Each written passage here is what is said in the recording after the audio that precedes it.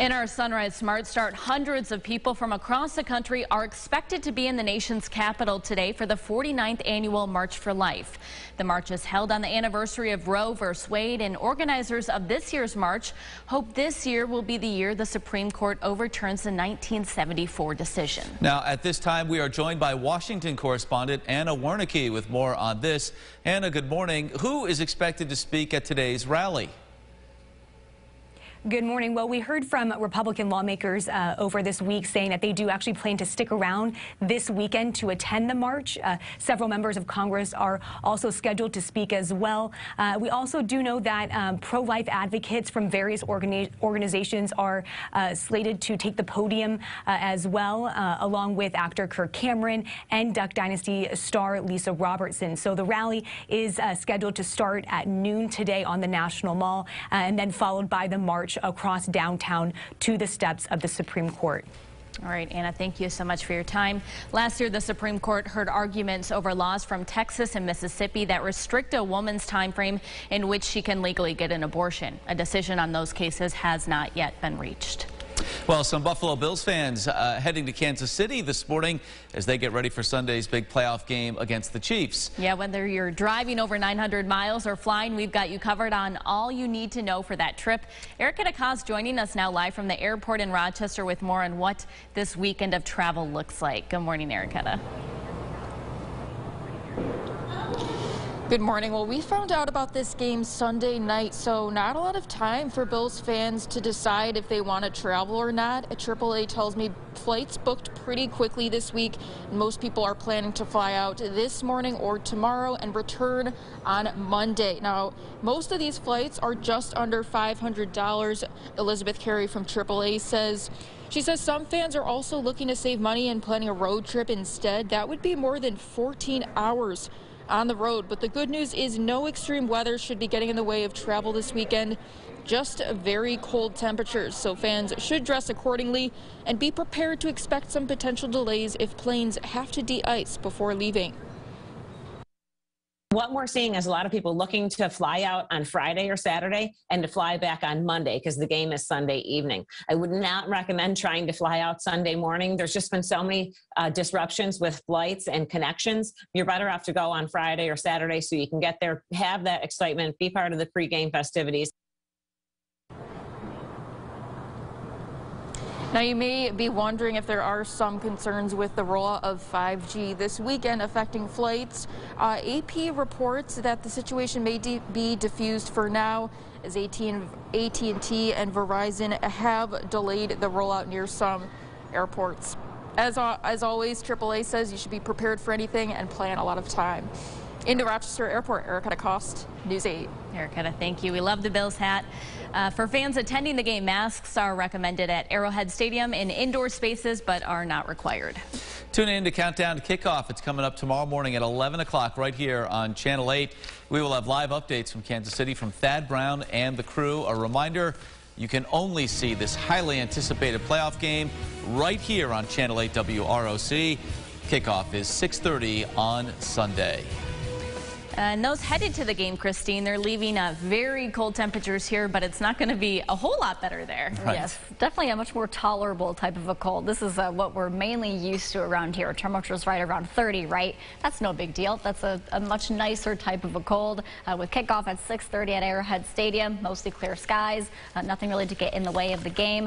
We'll focus here on our weekend forecast, though. It does look like we'll see some improvements by the time we get to both weekend days in the afternoons with high highs back in the 20s, but that Saturday morning start is going to be uh, definitely a very, very cold start. We've got wind chills negative 15 below zero at first spots and temperatures uh, that will slowly warm throughout the day, but we'll have to wait a little bit to get there. Snow showers do return for our Sunday as well.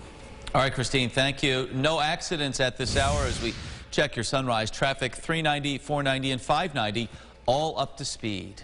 Turning now to some news. New this morning, Rochester police investigating a shooting on Frost Avenue late last night. Officers say they were approached by a 46-year-old man with a gunshot wound to the lower body. It happened around 10 o'clock. He was taken to the hospital with non-life-threatening injuries. There are no suspects in custody. One man was sent to the hospital after a crash led to a fight in Rochester. Police responding to Lake Avenue at Glendale Park around 11 p.m. last night, where they say two parties were fighting in the street following an accident accident. Officers say a 54-year-old man was taken to the hospital with non-life-threatening injuries.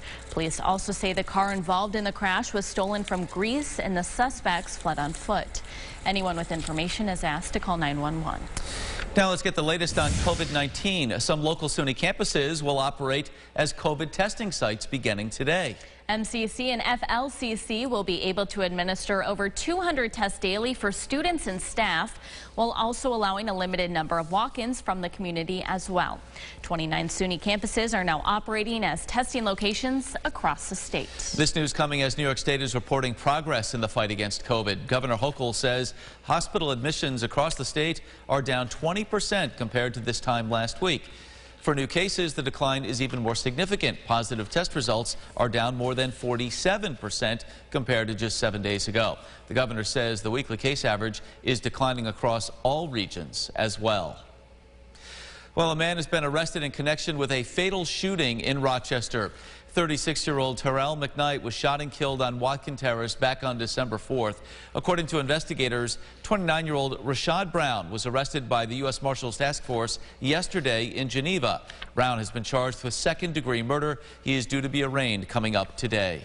The Monroe County Sheriff's Office is searching for a missing teenager this morning. 15-year-old Lynn Zara Rogers was last seen near Meadowbrook Apartments in North Chi She is described as 5'3 and was last seen wearing a gray sweatshirt, black sweatpants, and a black bonnet in her hair.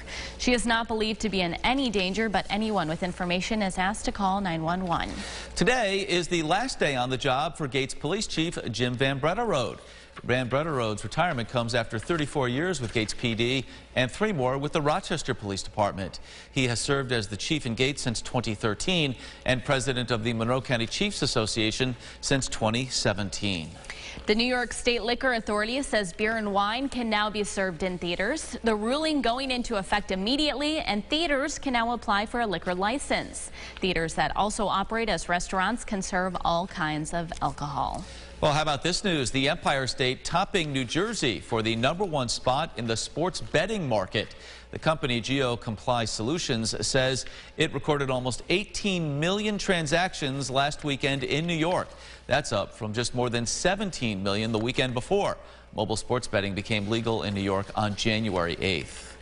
Here's what some folks will be talking about at the water cooler this morning, and it's sad news today. Singer and rock legend Meat Loaf has died he was 74. Known to his family as Marvin Lee Aday, the Grammy winner, best known for his Bat Out of Hell album and his role as Eddie in the Rocky Horror Picture Show. A cause of death has not been announced. And we've had uh, Paradise by the Dashboard Lights humming in our head mm -hmm. all morning long here as we think about Meat Loaf. Yeah, yeah great song. Peace. Rest in peace indeed. Yes. Uh, Christine, uh, it is uh, quiet uh, out there. It's sort of a cold, chilly, quiet mm -hmm. morning on this Oh, Friday. yes. We've got cold. Uh, we've got maybe a few lake effect flakes, but the story really is just how frigid we are. It's hard to get out of bed. It's hard to get outside with temperatures this cold. We've got 11 degrees in Rochester, a few spots at 7, like Honeoye Falls, Livonia at 7, a few places dropping below zero, like South Bristol at negative 1. Now, wind chills throughout the day aren't going to be uh, that much warmer, but actual air temperatures uh, will be around below teens, so definitely a hot cup of coffee type of a day. Those wind chills, though, are really going to hurt, especially as we get into uh, tonight and into tomorrow. Here are the temperatures throughout the next 24 hours. You can see actual temperatures dipping below zero, which means wind chills are going to follow a similar suit. We're watching uh, that Saturday morning for that brutal cold that we'll have to be careful of if we step outside. So bundle up and just uh, protect yourself if you have to be outside uh, Saturday morning. But uh, again, kind of that cold that we're, we're used to, but we'll have to keep watch for. Absolutely. Thank you, Christine. Some great tips there. Thank you so much for watching us on News 8 at Sunrise. Our next update in 30 minutes, CBS Mornings is up next. Have a great day.